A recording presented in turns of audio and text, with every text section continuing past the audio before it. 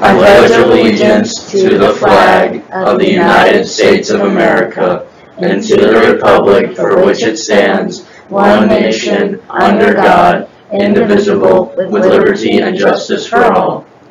Thank you.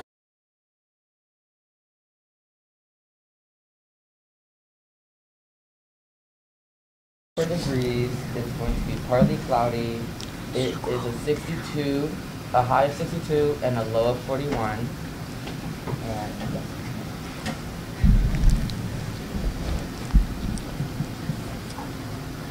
At Sparrows Point Middle School, we have pride when we practice safe behaviors, respect ourselves and others, interact with empathy and inclusivity, demonstrate responsible citizenship, and exercise high academic standards. Now a message about Math Clash.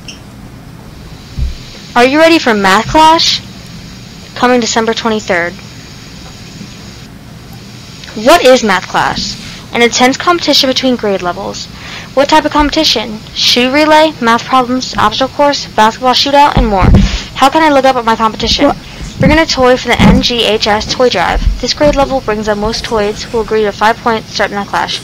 How do I socialize for my grade? Sixth graders, you wear red. Seventh graders wear black and white. Eighth graders wear blue.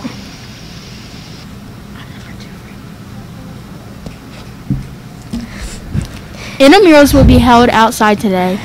Players for Change will meet in Mr. Wise's room today after school until 3:45 p.m. We will be making posters and discussing ways to promote inclusivity and positivity in our school building. All students are welcome.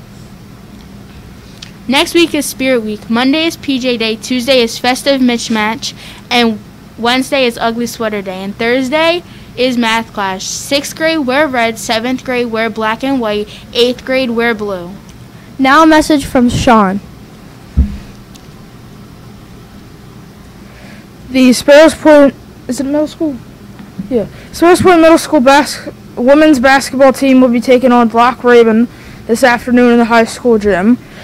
Lamar Jackson is now considered day to day, and now has about I'm gonna say probably like a 65% chance of playing. They have now signed New York Jets qu- quarterback Josh Johnson from the practice squad to be the backup to Tyler Huntley. Urban Meyer this morning just got fired after taking the Jacksonville Jaguars to a 2 11 season and being alleged that the former kicker got kicked by the by the head coach.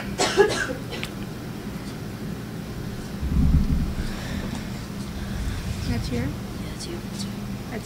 The National Junior Honor Society will collect uh, will host a toy drive to collect toys for children. I can't. The grade level that collects the most toys will start with five points of Math Clash on the 23rd. Bring your toys to Miss Moreland in room 228 by Monday, December 20th. Now a message from Mr. Rizzi. I'm here. I'm always ready. I get my information. Good morning, Sparrows Point. Welcome to Thursday. Couple reminders and updates. Reminder, if you get an after-school detention, you will not be participating in the math clash. So far, we've removed six sixth graders from the basketball competition. So I'd like to thank all the eighth grade teachers who assigned after-school detentions to all those sixth graders. Okay, update on the toy drive. Okay, in first place right now with 43 toys, the seventh grade. In second place right now with 18 toys is the eighth grade. And in third place right now with five toys, that's the sixth grade. It's embarrassing, sixth grade. You should be ashamed of yourselves when you look at yourself in the mirror every morning.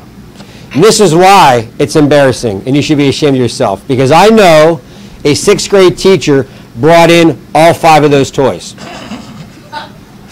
Which means not a single sixth grader has brought in a toy for the toy drive. Right now, all the sixth graders are sitting there listening to my voice. You might be laughing and giggling, but inside, you're ashamed of yourself, aren't you, sixth graders?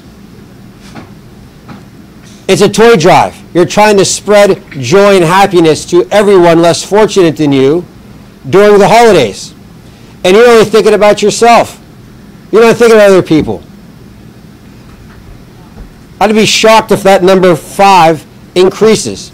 And if it does, it'll just be sixth grade teachers who are embarrassed themselves that they're teaching sixth graders or bring something in.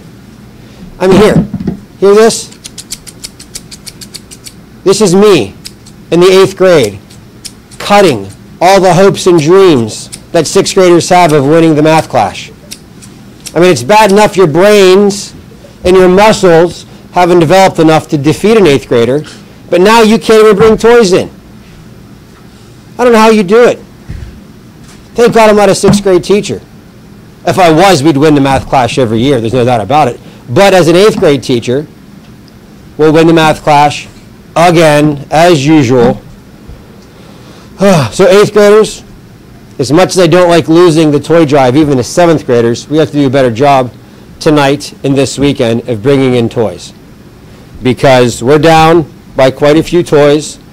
So this weekend, go to the dollar store. It won't be contaminated with sixth graders because they don't buy toys. So you can go there and not have to worry about running into a sixth grader. Okay? So thank you for listening to me.